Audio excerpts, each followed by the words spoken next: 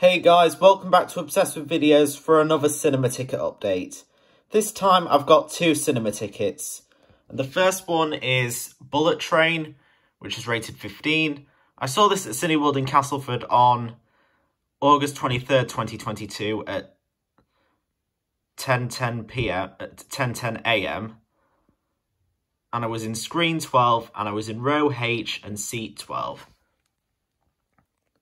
And the other ticket in this update is Avatar, the re-release of the 2009 James Cameron film, rated 12A, although it doesn't say it on the ticket. Saw this at Cineworld in Leeds on the day it was this film was re-released on September 23rd, 2022, and I was in screen 11, which is the IMAX screen at Cineworld in Leeds, and I was in row G and seat 19.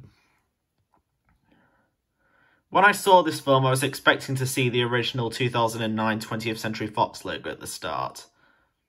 But when I saw, but instead it was plastered by the 20th, the current 20th Century Studios logo. I was a little bit disappointed that I didn't get to see the old Fox logo at the start, but hey, at least I managed to, at least I managed to see some sort of logo at the start which is always a good thing. Sorry about that.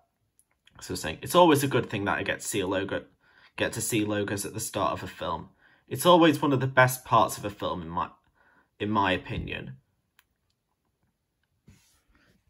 And that's it for this update. And as for the next update, I'm not sure when it when I'll next do an update, but hopefully I'll do one sometime soon.